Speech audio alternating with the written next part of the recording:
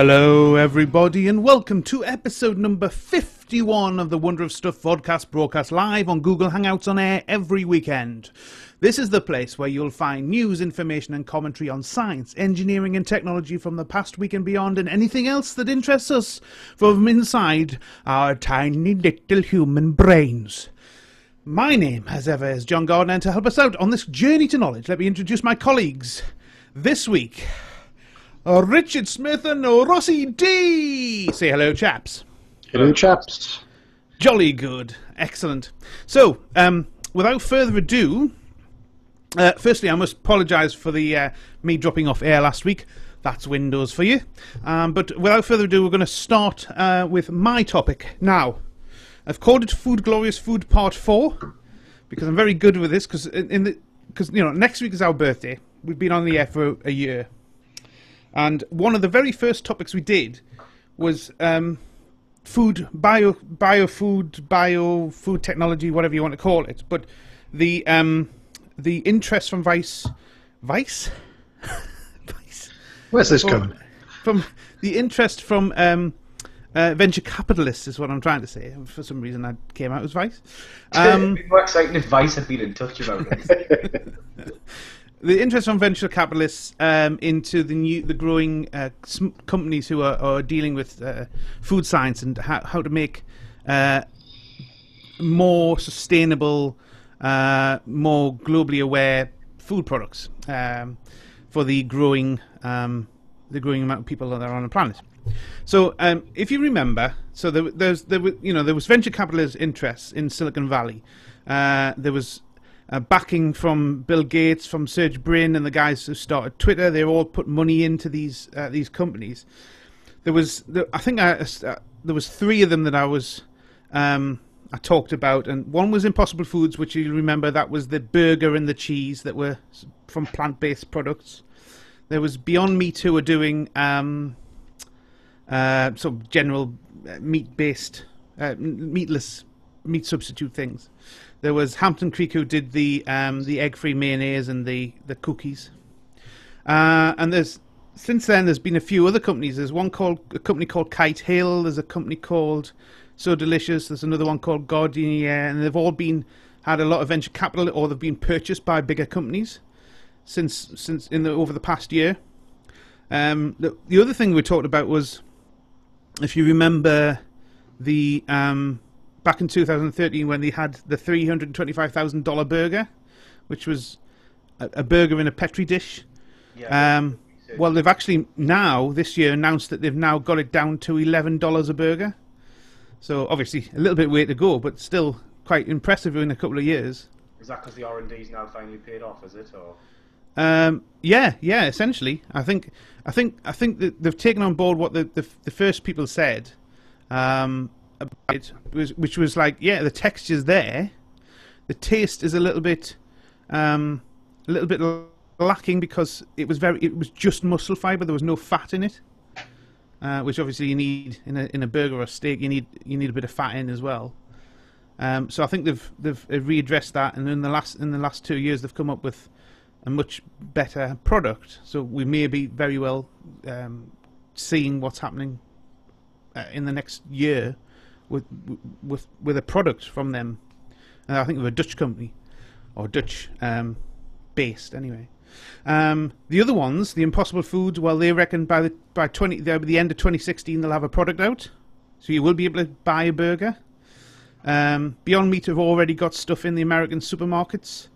Um, Hampton Creek will be bringing stuff over here. I think that's the rumor, anyway. Have, have they mentioned what the price points they're aiming at are? Because thinking about it, it's got to be aimed cheaper than meat, otherwise it won't. People won't buy it. Um, well, I, I, I think I think it'll not be cheaper than meat to start off with, and I think uh, it's it, it's all it's economies of scale, isn't it? It's always going to be economies of scale. The more people who buy it, they'll be able to reduce the price. I think people will buy it even if it's more expensive than meat. Maybe not. Maybe not people who can't afford to spend any more, but people who can afford to spend more might. Just if they made it cheaper than meat, and make, that would make it a, a I know, but free range, preferable free range- alternative. Free range eggs sell pretty well. They're not cheaper than caged hens' eggs, but they sell. Yeah. They're very close though now because Yeah. of the the, uh, Uh, the still, still a fair bit of difference, though, isn't there, than caged hens? There's not a Um, big difference between there's not a big difference between barn eggs and because that kind of straddles the midpoint, doesn't it? Mm. But if you look at caged, which are whoever still sells them, I, I, th- I thought they weren't they weren't allowed to strictly.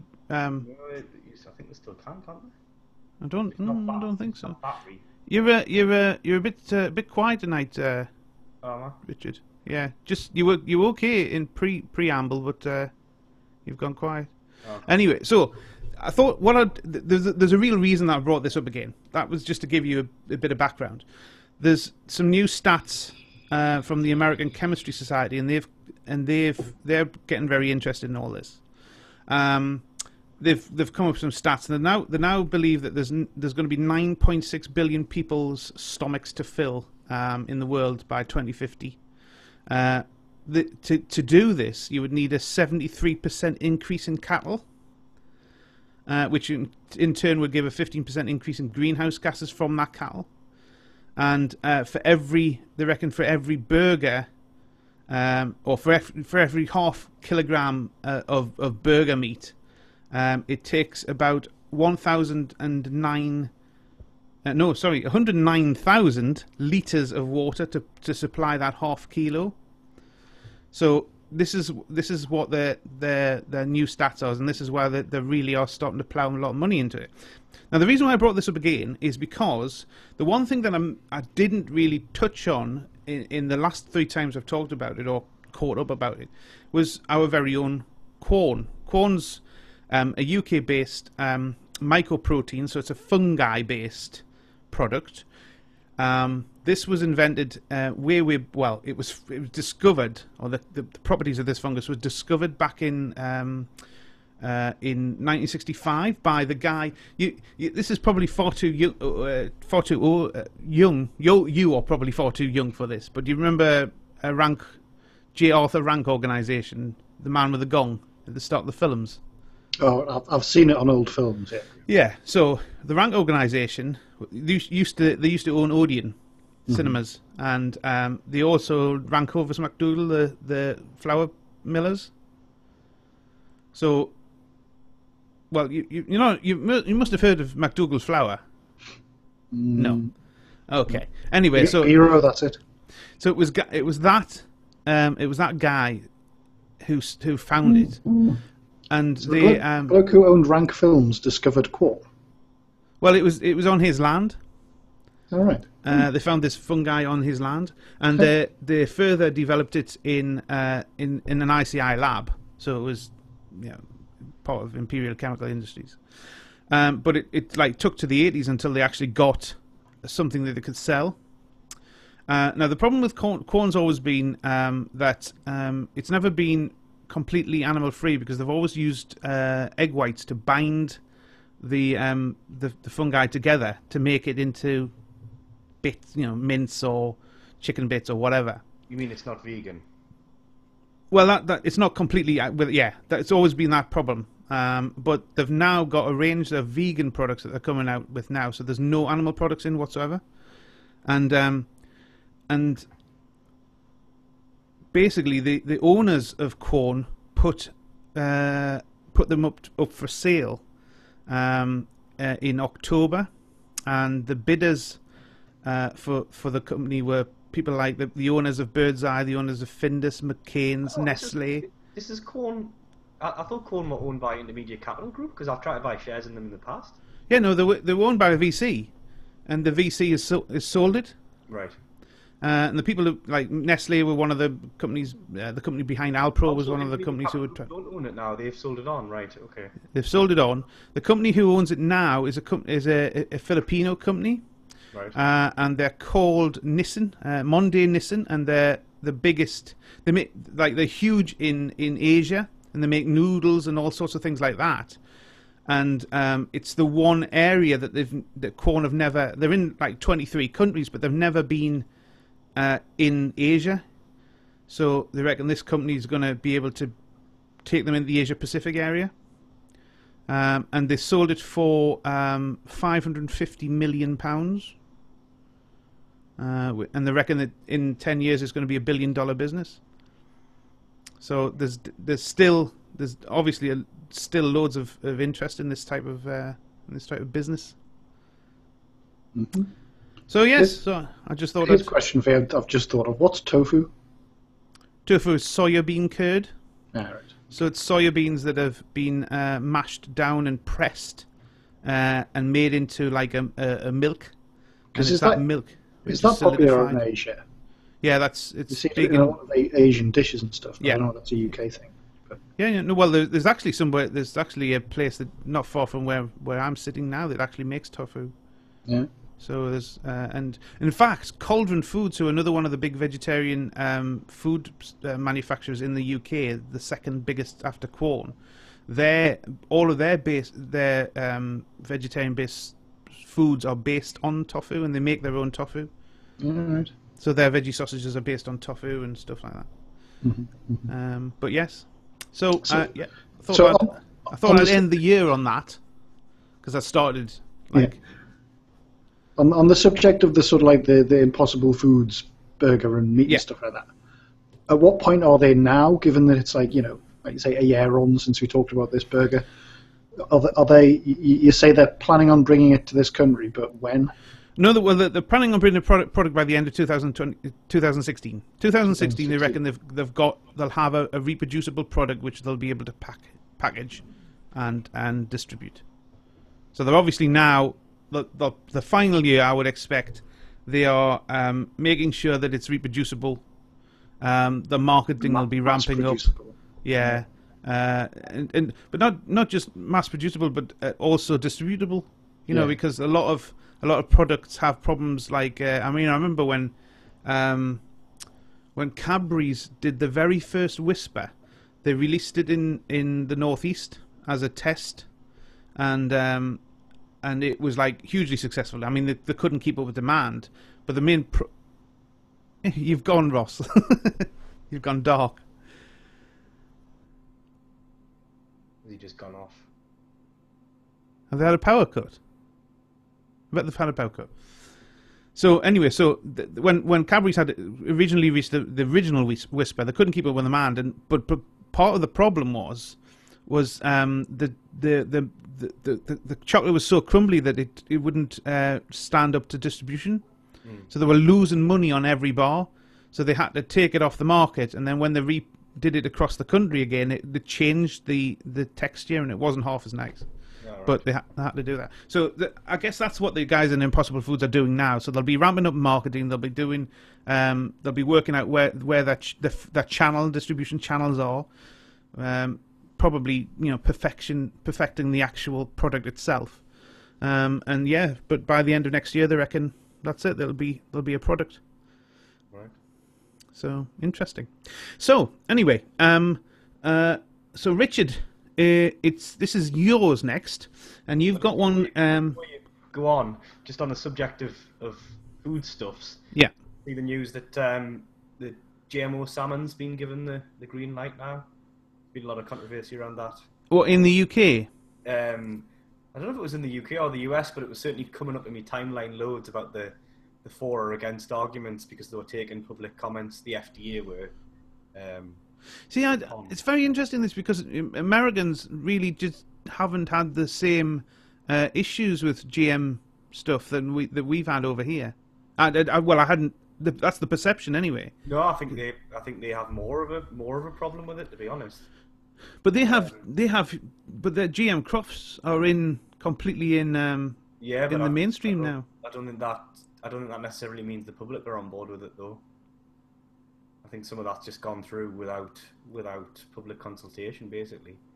But it's interesting on the salmon one that um, the arguments for or against that I was reading were basically presented by both sides. The same argument produced. So basically, the against party was saying, "Well, do you want, um, you know, Atlantic salmon that's had Chinook salmon's growth hormone and uh, genetic on switch from an ocean pout all put together into one fish.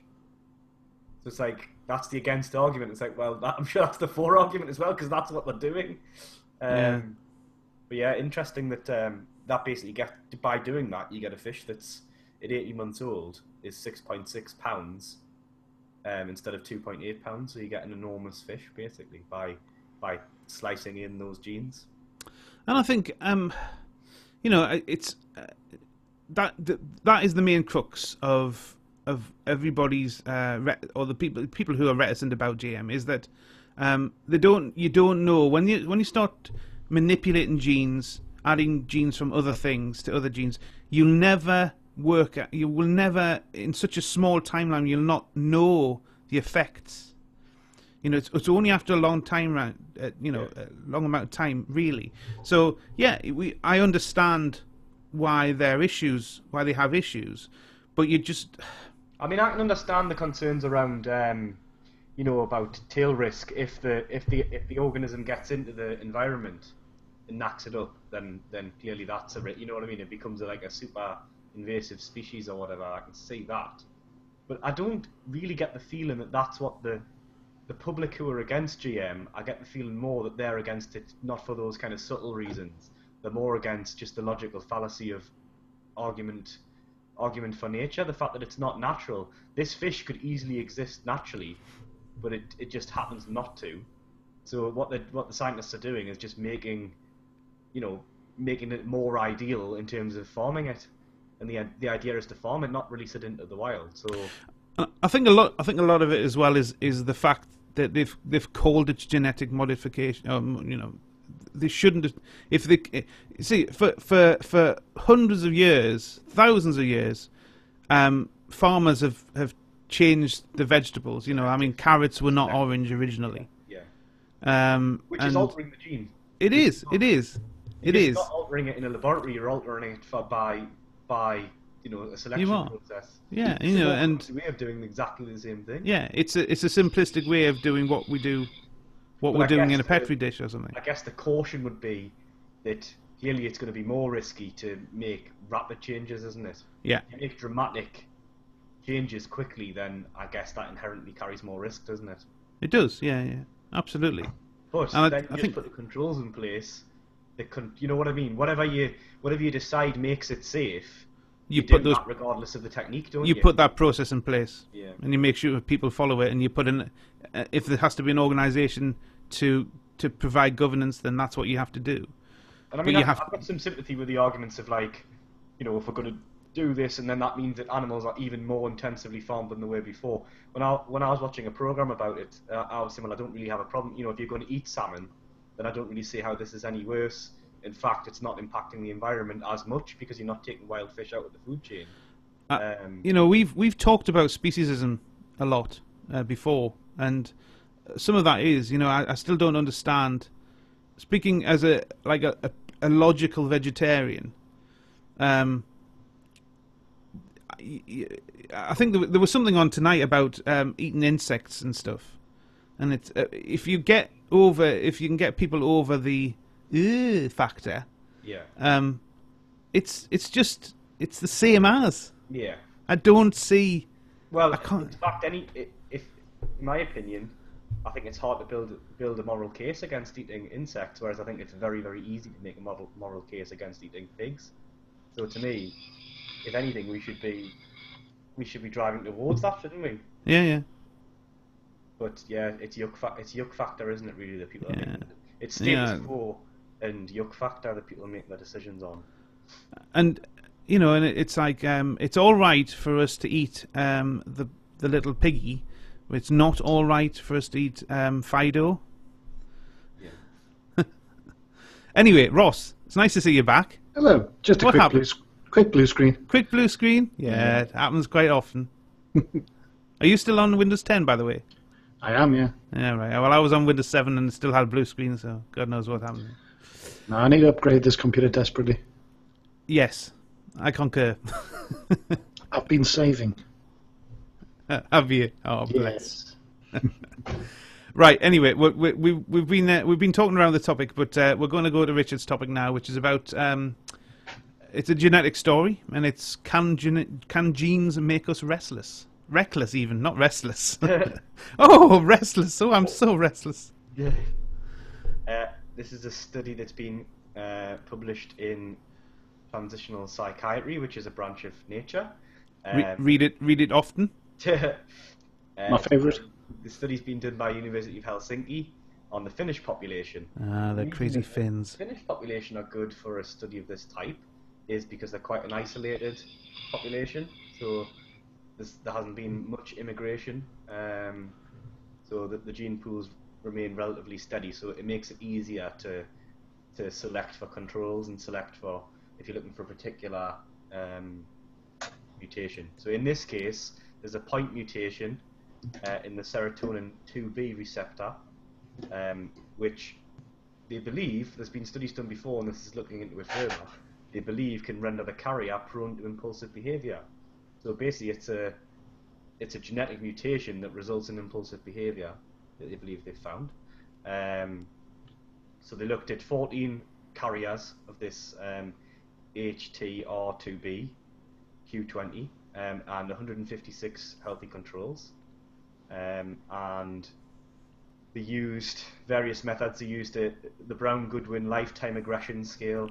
They looked at um, the Michigan Alcoholism Screening Test and also the people's lifetime drinking history.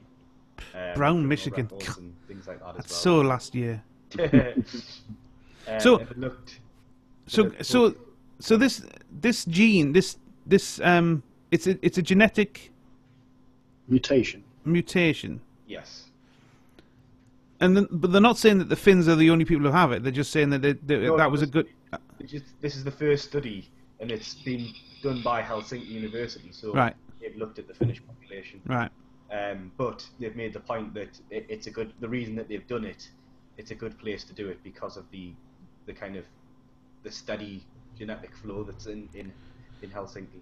I think we I think we've said before that a lot of the Scandinavian countries have are quite good um, catchment areas for this type of research. Especially, I think we said Iceland was really good because it was fairly constant. Yeah. There's not been much outside influence. very little immigration into it. Yeah. Yeah. Comparison, yeah. Um, so they looked both at sober, while sober, and under the influence of alcohol, because as we know, alcohol has a aggravating effect on, on this, in the very least. Um, so um, So they experiment on drunk people. yeah, basically. Um, so this is um, Ross would be in the catchment for that very well, often. well, not, not experimenting. They're looking at they're looking at a, a questionnaire. They're looking at the person's um, alcohol history and criminal history and things like that. So crimes committed whilst under the influence and crimes committed not whilst under the influence, and comparing the two, for example.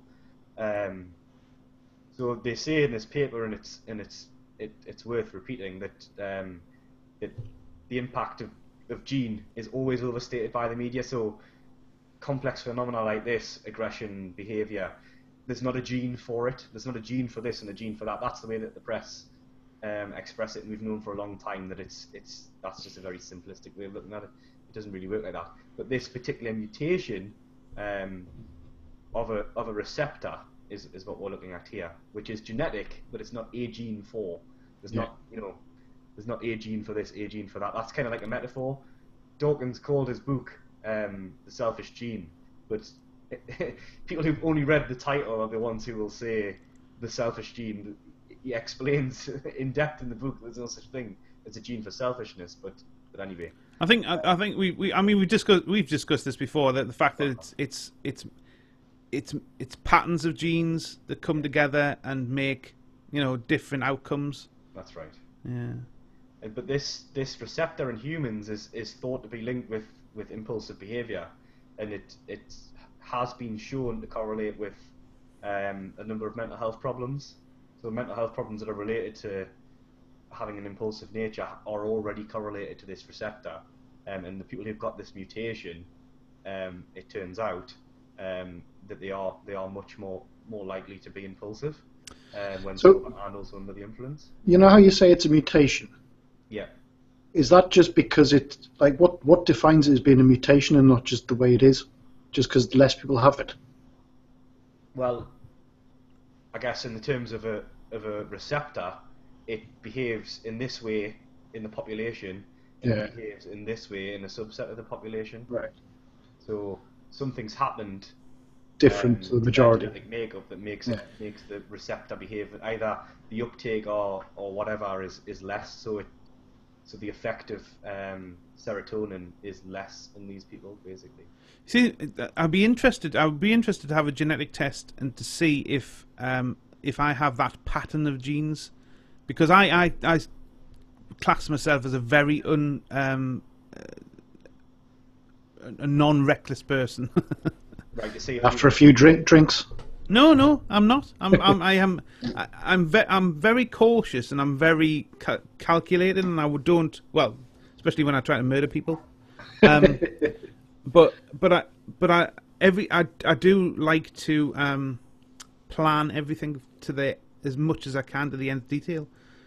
So just going, yeah, let's do. so you Yeah. don't have an impulse control problem well I don't not percep. My perception is I don't have an impulse control no, my problem. perception is that you don't but I think um, uh, this paper says that the, the people who are worse in alcohol also those people are also generally worse while sober as well so like I say Mm. alcohol seems to be an aggra- aggravating factor So Some sort of be- catalyst. Yeah, it may be in those people's minds that they only do those daft things under the influence of alcohol, but it's probably just that the bars, the bars raised up, the bars lowered so much lower when they're un, under the influence of alcohol. But they're probably compared to compared to the people they're more um, impulsive than with alcohol, they're probably more impulsive than both without alcohol as well. But it's just that it's maybe a bit more subtle when they're when they're both sober.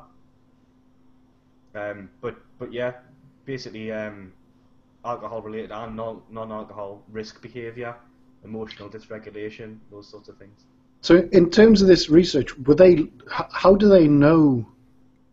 Like, what triggered the research? Did they discover the gene in people who were like that and wanted to confirm it, or were they looking for things that that gene, people who had that had in common? You know what I mean? Yeah, But did they know they were looking for recklessness? there was a previous paper on, on this on this receptor's role in impulsive behaviour. So Uh-huh. they then did a, a population study. So they got they identified 14 people with the mutation, and 156 healthy people without the mutation. Then they had a look. They had a look at the, their their criminal records and their alcohol history, and their, they brought them in and did them did, did them a survey that gauges how aggressive you are.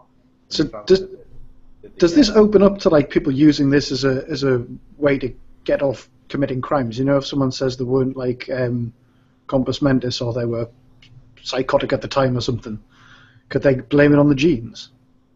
Like, is that possible? Well, well, it well it depends on the it depends on the court and whether that could be recognised as that sort of thing. But Mhm. it's a, it's it is an interesting dilemma, isn't it? Because Mhm. you could have a situation where um, a book that I've read goes goes into this, um, which is highly worth reading. I think, that, I think it might be on my reading list.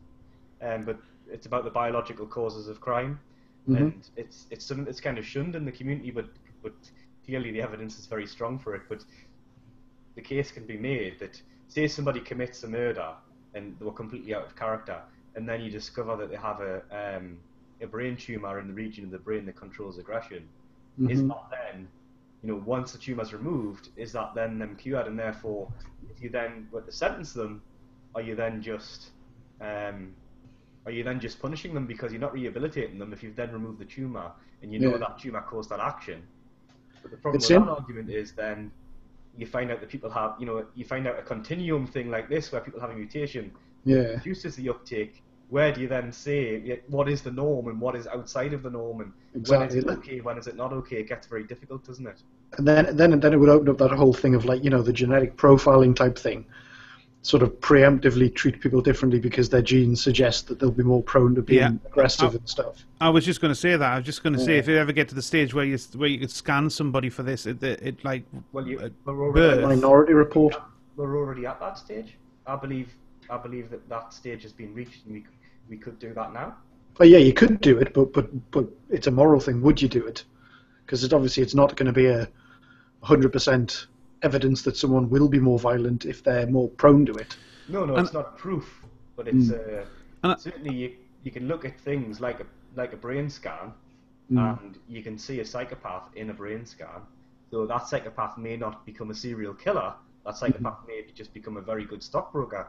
But you can see the trait. You can see the traits that that increase tenfold whether this person's going to be a psychopath or not. Yeah. Of course, we all know that being male rather than female increases that risk hugely. your, your propensity to crime and especially violent crime is so so much higher by just being a man, and that's clearly clearly a genetic factor. Yeah. Yeah. So, I, I, so th- this is just one of the many, um, it's just one of the uh, many areas where you could cross references with a with the nurture nature debate as well. Yeah. And and um, but and and I always think that it anything like this when like we, what you said, Ross, that if you if you prof- if you test them for this type of you know or array of, of genetic mutations or, or diseases or whatever uh, at the start of life, does that give them sort of like some off the hook thing if they do if they do something later on in life? Well, you would mentioned um, nat- nature versus nature. I mean that that isn't a real debate going on in the scientific community, but but the, the book about biological causes goes into that, examines that, and says right, is this nature? Is this nurture? What is it? And they they did a, like a huge meta-analysis of, of violent criminals and and um, well convicted convicted violent criminals, and looked at biological factors. So um, being born very prematurely or or being starved of nutrition at certain point, you know, critical points in the gest- gestation, um, you know, all sorts of things that would make you, you know, being dropped on your head, for example, something like that. So there's all sorts of very, very predictive factors where you can actually look at someone's palm and see, you know, it sounds Palm like reading. it sounds like pseudoscience, but but there is sort of de- de- develop- developmental things that happen on your palm where you can actually see that this doesn't reach doesn't I can't remember them now, but this is sort of like these don't pair up in the right place, and that shows you that you are starved of nutrition during a critical period, and that itself is predictive, very predictive, of whether you're going. It's as predictive as smoking leading to lung cancer of violence.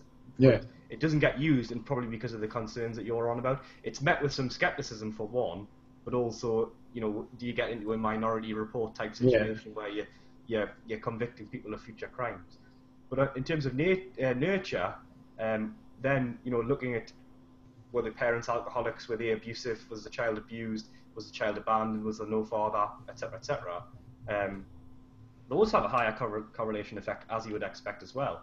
But what's most interesting is if you combine the two, so you have these these factors that are biological mixed with, so you have someone who's starved of, you know, nutrients during during development, and also alcoholic parents who then abandon them and whatever or abuse them. The two things together, it just it's it's out of the that their chances of being a violent criminal is just way Mhm. way way higher. So so it's both basically the, the two. If you if you put the two things in, it's a very heady mix for that. But you, that's what you'd expect, isn't it? If you have Yeah. someone who's in this case has a poor serotonin uptake and is also an alcoholic, it's a recipe for disaster, isn't it? hmm hmm ooh, wow. Richard's stories always end up on a on a down note. I'm glad we didn't. Le- I didn't. I'm glad I didn't finish on Richard. right. Okay. Well, Well, well, it's not a downer. It's not a downer because what it's saying is, I feel pretty down. if you can have, what, what would you rather just not know about any of this, and we just crim, violent criminals are just we don't know why they commit crimes. We don't even look at. We don't even Can you- bother to look. Can you not find some about- genetic research on the gene for happiness? Sorry, the genetic trait for happiness. Well, you've already got that by looking at this gene, haven't you? So by by looking at a, a mutation that causes a negative effect, then you do something that promotes the positive effect, don't you? But you don't you don't look you don't look for the control group. You look And the hence, hence, hence, the obvious thing is to get all of those people that have that trait, round them up, put them in a field. Uh, there's a Kenny Everett thing in there. but see, but see, you found out that that um, I don't know, consuming a certain product, you know, or smoking, smoking during pregnancy led to this. It would be a good reason, and another good reason not to do that, wouldn't it? Yeah. So you, you could you could find out that to to be more happy, you you avoid smoking in the third trimester, and therefore you have better serotonin um, uptake and your life's better. Yeah, I'm just thinking. Actually, obviously, the the whole sort of low serotonin levels leading to risk taking and aggression and all this sort of thing makes sense. To sort of you know that that thrill seeker type thing. If you had excessive levels of serotonin, so it didn't take much for you to get that reward back in your brain, would you just be really lazy? Yeah, yeah. You just get really excited about an advert, and then that would be your day And done. also, uh, and also, I think it's toxic. So large amounts of it is, is very bad for you as well. Yeah. So, Mhm.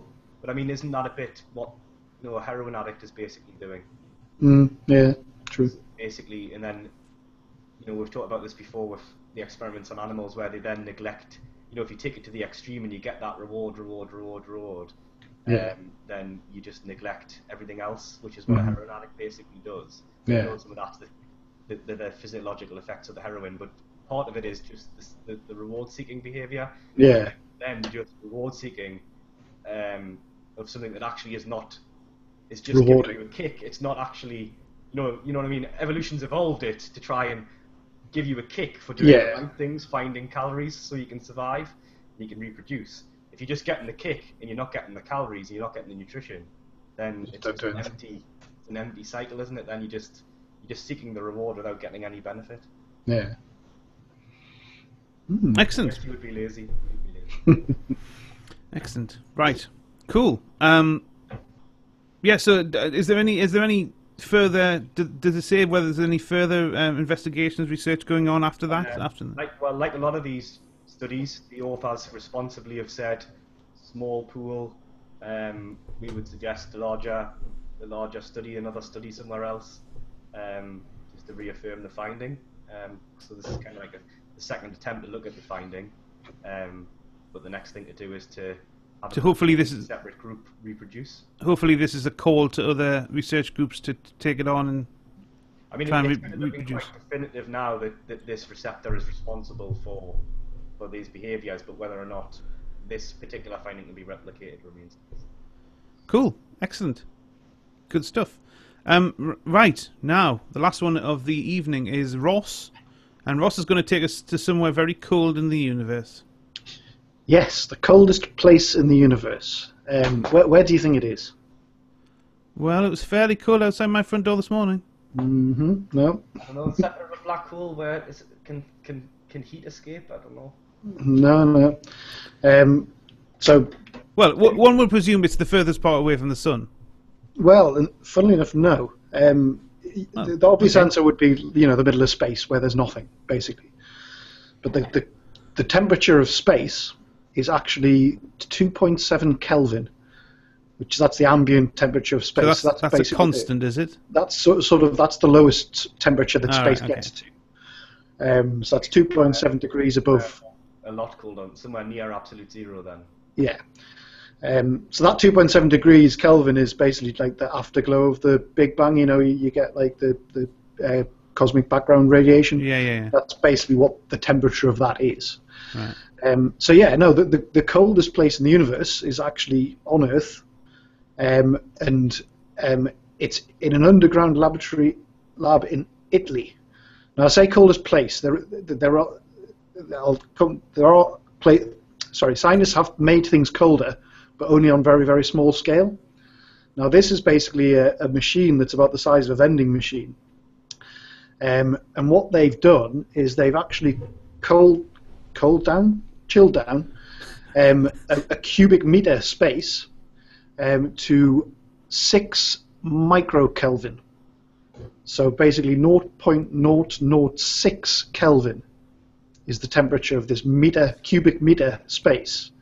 So that's minus 273.14 degrees, and they did it Say we've made something colder than we've been able to discover occurring naturally. Then Yeah, basically that they can make things colder than exist naturally, um, and they've done it for 15 days as well. So it's not just sort of like one of these experiments where they do something quickly and then you know it's it's a brief brief moment. It's a it's a 15 day long experiment. So they haven't they haven't done it, done the ex, done a reduced it for 15 days. They've actually it's been 15 days of the same temperature continuously. Yeah. Right. So it's the lowest temperature in the universe over a, over such a big volume. Like I say, they they they they've got smaller areas even colder. I think two microkelvin.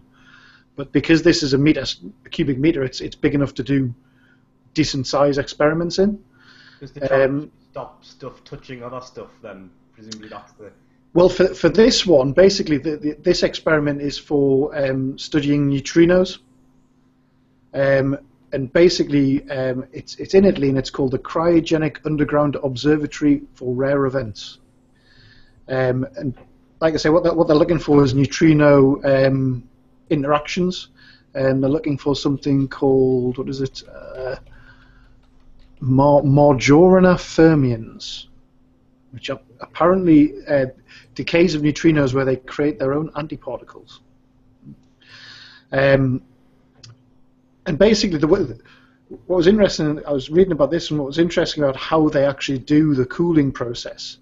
Um, they actually use uh, something called um, di- dilution refrigeration. Um, and what they do is they get a mixture of helium 3 and helium 4, so two isotopes of helium. Um, and when they, they cool them down using sort of more traditional refrigeration effects, what happens is you get um, the helium 3 is lighter than the helium 4. And at the interface, what happens is you get sort of um, phase dilution. So the helium 3 sort of dilutes into the helium 4. And when that happens, it takes a little bit of energy. And then what they have is a sort of a pump that pumps from the other end back into the top which sort of depletes the concentration of helium 3 and the helium 4, and then it replenishes again by itself. So that sort of natural process of the, the what I was I was watching a video and they were explaining this cooling in terms of how you cool soup. So if you imagine you've got a hot um, hot bowl of soup and you cool it down, you blow over the top of it. What you're doing is you're removing all of the vapor from the top, and then the sort of the, the hot and the cold tries to balance out again, so the heat leaves the soup into the air above it. So you're not actually cooling the soup by blowing on it. Cooling the soup by removing the heat from above it. a space for the uh, the other air to move into. Exactly. Yeah. Yeah. Um, and it's basically it's it's that sort of um, um, process that they use to cool down to these temperatures. Um, but I was I was looking at one of the other um, uses for cold temperatures, like you, you mentioned, what they're looking for. Uh, there's another experiment where they have a it's a round um, sort of metallic ball that they cool down. Uh, what they're actually looking for in that experiment was looking for gravitational waves. So gravitational waves are, are theoretical. They, they, they, they're trying to observe them directly now. So basically, when I don't know, a neutron star explodes somewhere, they think there's a wave caused in the fabric of space, which then passes through space. So they're trying to detect these. Um, and what they're doing, they're cooling down this experiment to try and basically remove any thermal vibrations um, because the effect of the gravitational waves are on the scale of 10 to the minus 20 meters. So that's how small these sort of tiny vibrations caused by gravitational wa- waves are. Um, and they're trying to detect that, so they need to remove all the heat. Because obviously, heat is, is vibration of, of atoms. So if they if they prove um, that there is such thing as a, a gravitational wave, does that um, improve the chances of us getting some sort of anti gravity engine? Um, I'm not sure what you could do with it. I think it's more. I think it's more just theoretical. I don't know what what it, what what the outcome of discovering these and proving them would be directly. Um, Because but obviously, I one suppose knowing that the fabric of space can be distorted, yeah, I suppose that helps us. in- because because obviously if we're ever if we're ever going to try and do what they did in Star Wars, um, we we ha- we that we that was to. a long time ago, and it was a galaxy far, far away. Well, I've heard that. I've heard that rumor. Um, but yeah, but there must be some that that it's we have to we have to be able to manage gravity, haven't we? I mean, that's that's how you get to places the other side of the universe very quickly. Yeah, yeah. Mani- man- sort of manipulated it so you're falling falling forward really fast. Yeah, yeah. Yeah, yeah. Oh, interesting. Um, yeah, but I mean, I suppose theoretically that that's all possible, but it's just you look into the amount of energy that that would involve to doing it. It's Yeah, and then you look into practical. what's theoretically possible, and you think, hmm. there's all sorts of the, the arrow of time theoretically can be changed, but uh, you know. yeah. It's taken us a hell of a long time just to get back to the moon, so the chances of us ever getting to that is like, So, so essentially, the challenge is to get to get it to get these what did you say neutrinos to to vibrate as little as possible. Then that, essentially, that's what you're doing by cooling it down. Then. Yeah, basically, if if you if you cool things down, you can get rid of the sort of the natural vibration and see see things happening in more detail. I think. So the less so the, the less you get them to vibrate, therefore the the measurement of its temperature goes down. That is the me- that is the measurement of vibration. Then. Yeah, the, the the less the temperature has an effect on stuff, and the more other things can be observed. Yeah. I don't understand the, the thing where you're saying like about how essentially it's using a ventilation technique basically. How, if if that's the coldest thing already, how is then sort of venting it, making it colder? That's I'm, I'm not getting. Well, that, that that between the two phases between the helium three and the helium four, as as the helium three goes into the helium four, that takes energy. So that in, at that interface, right. there's a constant energy going out of that particular thing, Yeah. um, and uh, that just goes colder and colder and colder because it's removing energy basically. It's a bizarre thought, isn't it? Mm. That you could that you could. Yeah, but that's the way to think of it, isn't it? That you're just reducing the energy, but Yeah, yeah. I sort of just the way that the, the sort of intuitive way that you think of, which isn't the way to think of these sorts of things, I suppose, but sort of the intuitive way you think of temperature. How can you re- how can exposing it to something else that's not colder than it already make it colder? This this intuitively doesn't work, does it? Yeah. I think I think because we a lot of the stuff that we that they do in science is they um they're they're they're crashing different particles together and getting off more energy or they're getting off heat or light. So and obviously that's raising the temperatures. But to do it in the opposite direction and get something that's even colder as the as the you know the summation of the two interactions. Well, that's the thing. You, you, you, yeah, all you, all you need is a process that, that, that requires energy to do, and that happening will will reduce temperature. If as long as as long as it's not an explosive thing, you know, um, because it's a sort of a chemical chemical process, chemical phase transition or whatever you call it. Um, yeah, it, it, it, it takes energy to do that. So therefore, anything it takes energy from its surroundings basically. So you put something around it, and it will it will get colder. Take something that's already not very energetic and try and remove more energy from it. Yeah, yeah. So on the scale of this, where where does liquid nitrogen then something that is a frame of reference that people are familiar with? Where is that on this scale? No, not even cold. Liquid nitrogen, I assume, is going to be I don't know minus. I don't know, total guess minus fifty or something. I don't know. But I mean, a- where like compared to the, so that's something that's naturally occurring, and, and so where these experiments are at now, I'm just wondering how far we've come from, from something that naturally occurs on Earth to where we are now. Are we much much colder than that? Or? Well, liquid nitrogen doesn't occur naturally on Earth. I don't think. I think that has to be, you know, you have to liquefy the gas. Let's have a look. right. so Min- minus 50 is going to be far too high, isn't it? Yeah. How uh, what I mean is something that's been around a while. Then how how are these new Yeah. techniques? How far have we advanced? Liquid nitrogen is minus 195 Okay, and so what? Kelvin or Celsius. uh, Celsius, so it's 77 Kelvin. Right. Okay. 77 Kelvin, and where and where's this where's this experiment at at the moment? This is 6 microkelvin. So it's, it's a hell of a big improvement. So yeah, yeah. And obviously it's going to be one of these things, you know, cooling something down from room temperature by 20 degrees is not difficult. Cooling something down from 77 Kelvin to zero, near enough, is going to be very, very difficult. Yeah, and now Um, you're into the And especially on such a big scale, like I say, a cubic meter is a huge amount of space to Yeah. basically remove all of the energy from. So now they're in um, the sub sub one zone. It's diminishing returns like massively, Yeah, yeah. unless they come up with a new technique. Yeah, I'm just having a is this this is? It is is it a new technique then? I don't think it's a new technique. No, the actual sort of technique's quite. I don't- I think it's been quite. Is it? Is quite it well. I think it's just. on this scale. Where they're actually now got the gear to do it then. Yeah, yeah, basically, yeah.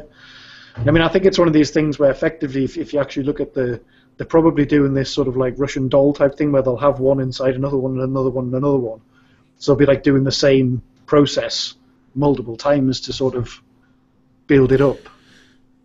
So basically, right. So if we can get something down that cold, you know, you know where we, um, I, I don't know whether you were he, here, Ross, but um, when we talked about black phosphorus, Yeah, I think I was. Yeah. you were here, or was it you that Richard that weren't here? I think it was me. I don't remember that. Oh, yeah, well, you know, How's- we we talked about graphene and uh, and black phosphorus and um, just a, a, a couple of months ago. Oh yeah, no, it was when I wasn't here because I remember watching it. And Yeah, and and and but one of the one of the issues is you've got to get it down really cold. Um, you know, this that, this is this sound this is sounding good for things like that. Yeah. So just looking at, at the, the, the, the records for, for coldness. So um, the world, current world record was, ac- was actually set in 1999. And then the temperature they, they got down a piece of just a, a tiny piece of rhodium metal, and that was to 100 picokelvins, which is 0.90 and a one of a Kelvin. Imagine how long your food would keep. Just keep forever. And is this is this was this a bit of copper? Did you say? R- ro- rhodium. No, no, for this one, but I mean the Oh, one this- in Italy. Well, it's it, well, it's it's no, it's it's a, s- it's an actual space. It's a one cubic meter size space. So Of air. it- it's, it's the actual air, effectively. Well, it won't be air; it'll be a vacuum. Um, but yeah, it's it's it's a it's a space where they can observe stuff.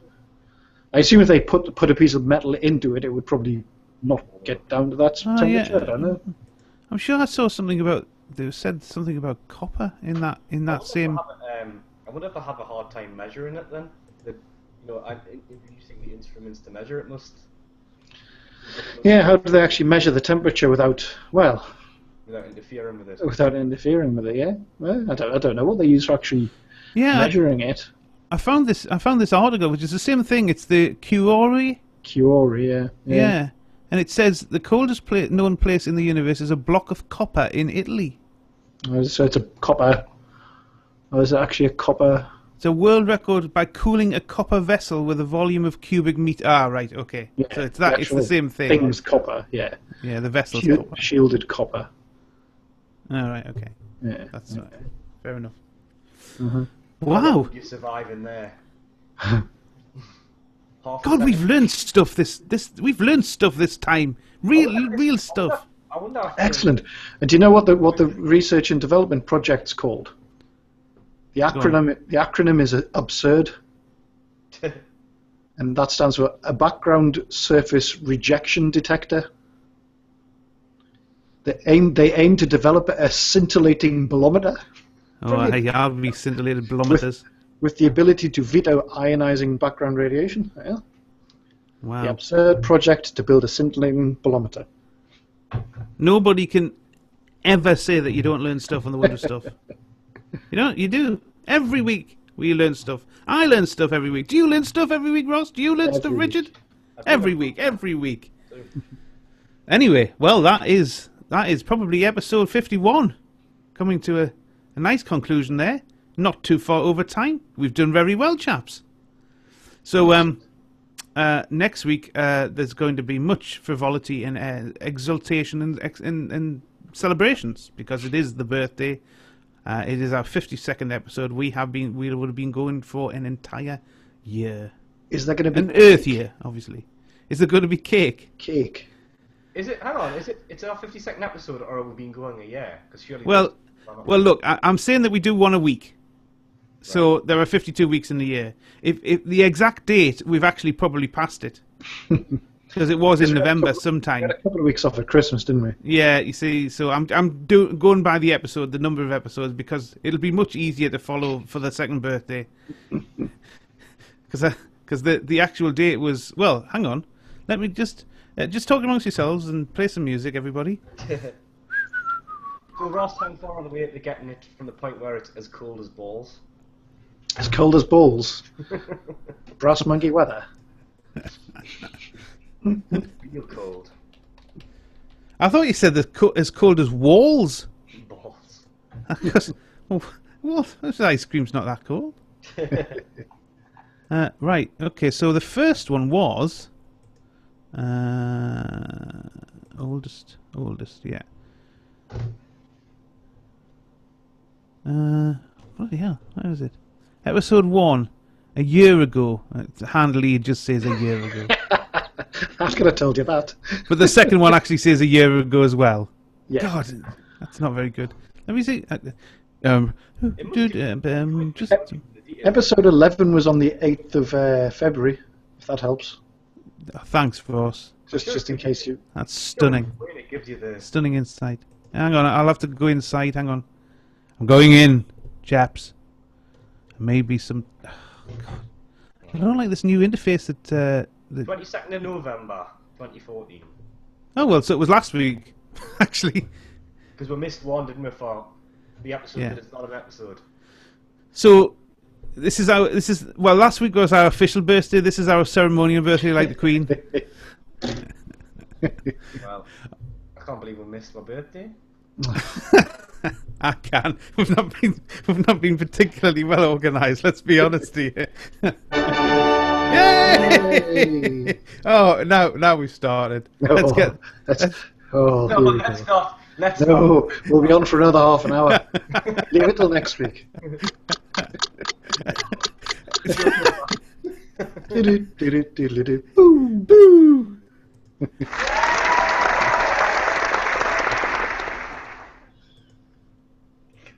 John's suspiciously quiet. Oh, there we go. Right, John. Okay, everybody. Say bye-bye, chaps. Bye bye, chaps. See you next time. Same bad time. Same bad channel. See you, everybody.